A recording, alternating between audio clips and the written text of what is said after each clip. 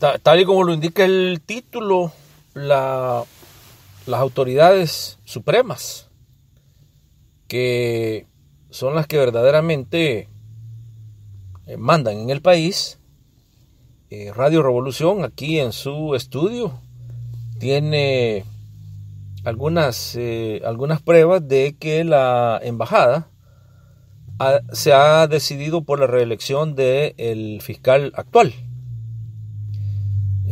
Muy a pesar, obviamente, de ese, todo ese proceso eleccionario, de que hay 30 eh, candidatos y que se están entrevistando a todos y que hay un gran gasto de parte del pueblo con sus impuestos eh, para pagarle a todas estas gentes que están entrevistando, al entrevistador, el tiempo, ya hay una orden y que esto hay que aclararlo porque desde hace ya meses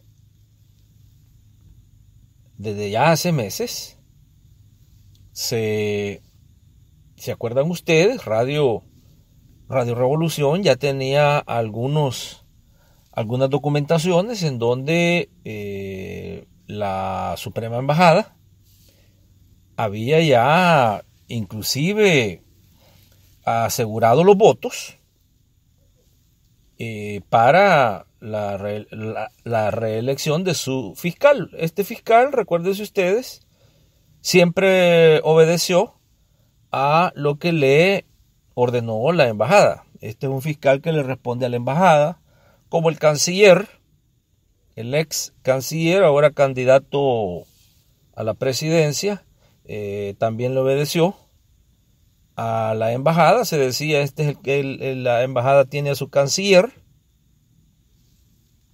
eh, la embajada tiene a su fiscal y hoy todo parece indicar que eh, hay una, inclusive eh, acá se indica que es necesario que la elección, esta elección se lleve a cabo antes de que termine el año.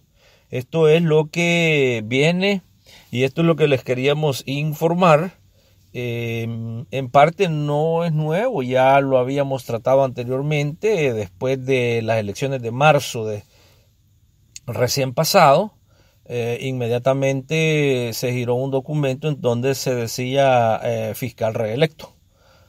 Eh, precisamente por eso hoy usted encuentra a estos diputados inclusive ya hablando eh, de que el señor fiscal ha hecho un trabajo aceptable.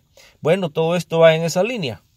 Y eh, pongámosle bastante atención porque eh, vienen casos, la posible inconstitucionalidad de Nayib Bukele, el enjuiciamiento de Nayib Bukele, la extradición de Mauricio Funes. solo estamos hablando de casos de gente de centro a izquierda gente de ultraderecha no se tocará. Bueno, Radio Revolución.